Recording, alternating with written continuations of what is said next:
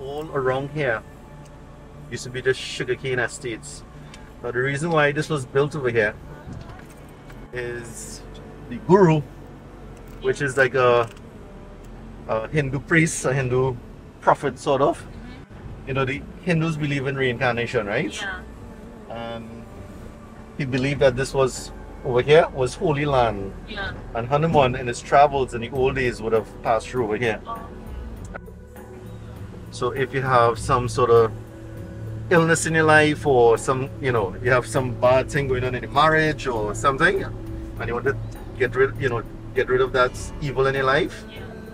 he's the god of destruction that could um, destroy all those evil evils in your life.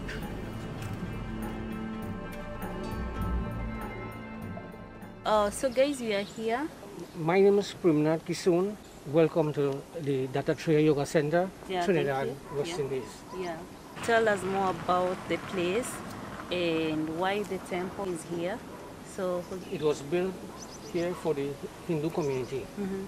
and also for other people from the whole world to come and visit. yeah. So we welcome you. So guys, uh, we won't do much because they don't allow the video thing in there, but we will do photos. So don't leave, stick around.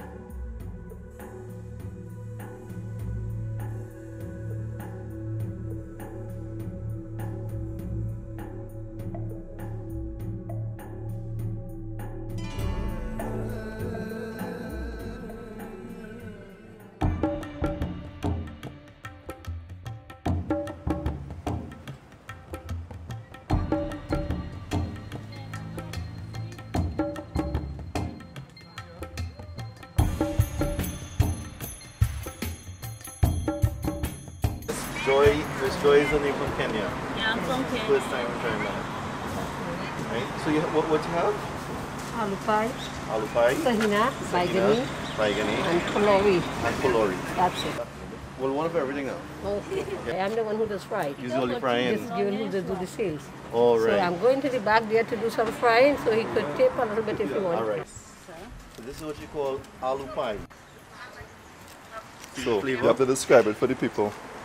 N- Wait, I have to do Okay, like two have bites. Okay.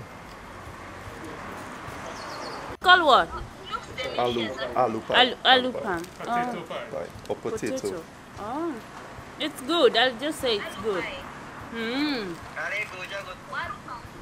Not waru pie. Stop it. Um, this is baigani. mm-hmm. Baigan is Indian Baigan. word. Mm-hmm. Baigan is eggplant. Okay. So it's a slice of eggplants Mm. and it is a flour dough. The peas. The peas make a dough Mm. and they put a slice of eggplants in it and they deep fry it. Okay, let me try. I love it. Had the tamarind sauce, have a little spice in it. This one is more delicious than the other. Ready for now? Mm-hmm. One more way to try. I'm full. Okay, half of it then. Half. The kind of food street we are trying. This is okay. pulori, Mhm. made with um, split peas powder, Mhm. and they make a dough and they deep fry it, and there's a tamarind sauce.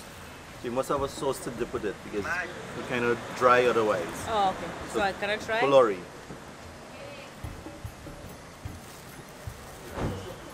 Actually, I'll say this one is. Um, I prefer the second one and the third one. Just take a bite. I'm full. it's really good though. You want to make my stomach feel like I'm pregnant. This one make like just made with spinach and split peas. Mm -hmm. Spinach, you spinach? Yeah, I know. Like, I like know. Sakina. It's good. Which but one? I'm full. Which one is your favorite one? The second one. Second one would have been the eggplant. Yeah. Yeah, that was my favorite. Eggplant. Mm. Okay.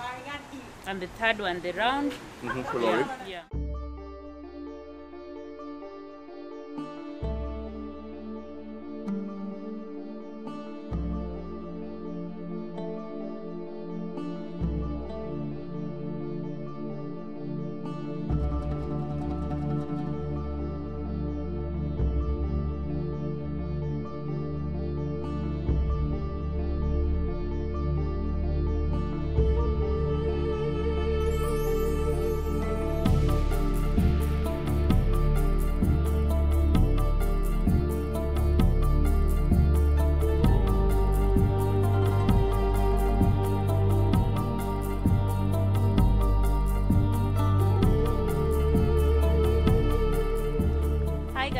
So this is the final thing that we are doing here. We are at the temple in the sea.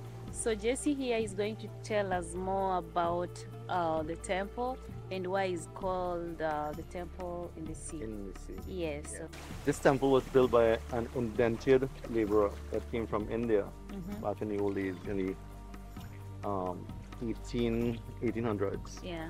He came here as a young kid, about 14 years old, Mhm. had a very, very difficult trip in coming across over here, uh, coming to Trinidad. And back in those old days, these ships that they would bring bring them across from India would take months, and people would get, you know, sick and different things. But anyway, he came, he made a promise to the gods that once they arrive here safely, he'll build a place of worship. Yeah.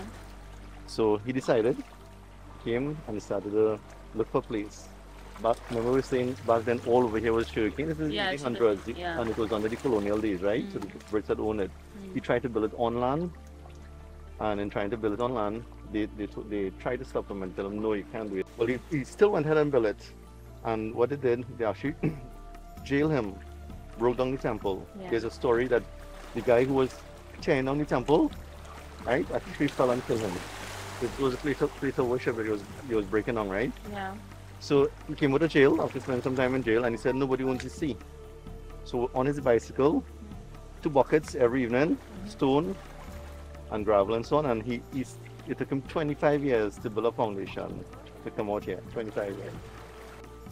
So you build this place of worship, and um, but today in 1985 the government rebuilt Yeah. this love monument, and it's a story of the, you know, against all odds, perseverance of the people, the fight of the people, the will of the people, right? Yeah. This is a, a, a, a symbol of that, right? And it's the only temple built out Over in the sea the sea.